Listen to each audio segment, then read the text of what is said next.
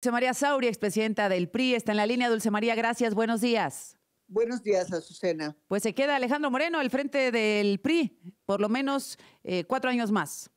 Mira, es duro perder cuando sabemos que nos asiste la razón legal y más cuando se trata de una mayoría de magistrados del Tribunal Electoral de su sala superior que con argumentos por lo menos torcidos, validan una asamblea que claramente se hizo fuera de los tiempos de la ley. Escuchar la palabra excepción para justificar la violación de la ley, la verdad es que a mí me pone los pelos de punta. ¿Por qué el tribunal, eh, Dulce María Sauri, por qué el tribunal estaría a favor de Alejandro Moreno?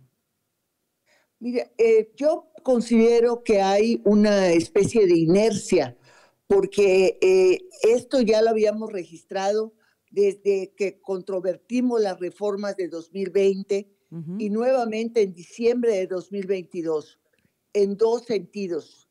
Uno, que nos mandaron a justicia partidaria, que por cierto, Azucena, hasta la fecha no responde los recursos que nosotros enviamos al tribunal y que este a su vez mandó al partido es decir, en abierta violación eh, a toda la instrucción que supuestamente le dio la sala superior, el partido nunca nos respondió. Y la segunda es esta especie de relación poco, poco extraña, por decirlo menos, de una parte del tribunal con esta idea de que los partidos políticos se autodeterminan y con base en esa supuesta autodeterminación, están dando cheques en blanco para que hagan lo que quieran. Lo único que me alienta, Susana, en esto es saber que no todo está perdido. Es decir, hay, y ayer lo constatamos en la discusión, magistrados que respetan la legalidad, que la debaten y aunque el voto mayoritario haya ido en otro sentido, nos muestra que hay mujeres y hombres en este país que están dispuestos a defender el Estado de Derecho. Pero, pues ahí se acabó, ya es la última instancia, Dulce María. Absolutamente clara en ese sentido. ¿Qué van a hacer ahora? Eh, la disidencia pequeña dentro del PRI, Dulce María Sauri, Francisco Labastida, Malio Fabio Beltrones, Enrique Ochoa, Pedro Joaquín Codwell. ¿Qué van a hacer? Eh, ¿Asumir que Alejandro Moreno es su dirigente y participar en el PRI al que todavía pertenece en Dulce María? A ver, yo creo que esas son decisiones que se van a tomar individualmente, pero yo te puedo anticipar la mía. La mía es, entro en un estado de hibernación, como si fuera yo una marmota. Empieza la larga noche y voy a buscar cuando nuevamente haya la luz, seguir trabajando en mi militancia político-partidista. Habían amenazado con expulsarlos, eh, Dulce María. Pues si me expulsan, me sacarán de la hibernación y me mandarán eh, pues al desierto.